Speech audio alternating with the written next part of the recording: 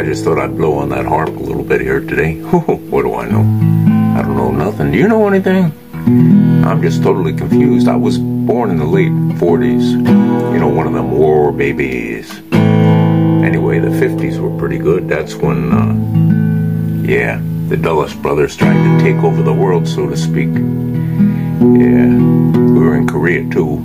Let's see, the 60s, flashy cars, looked like rocket ships. Oh, yeah. Media science fiction. Yeah. It was some kind of disaster was going to happen then. There was mass hysteria. Let's see then, what was it in the 70s? The ice was going to take over the world. In the 80s, it was acid rain.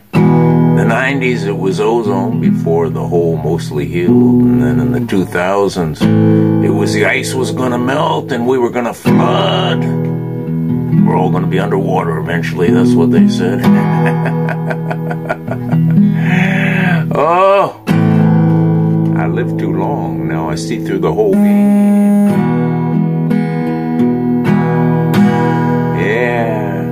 Well, here's a supposition, so-called science fiction. The winners of wars, they write the history. But if the Earth is four and a half billion years old, with uh, all the deserts and the Sahara and different kinds of things and mountains and rainforests turn into deserts and back again and things live and things die and things pop up, glaciers form. They even form rock mountains. Yeah, rock candy mountains. One celled creatures eating the chemical soup. yeah, and then we have plants, dinosaurs, millions of volcanoes still covering the ocean, supposedly, spouting out CO2. I think they're more powerful than humans.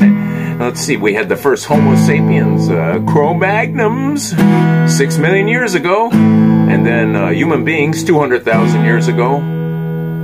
Uh, who with a rational mind would think that something that happened 2,000 years ago could uh, alter things that have happened so long ago?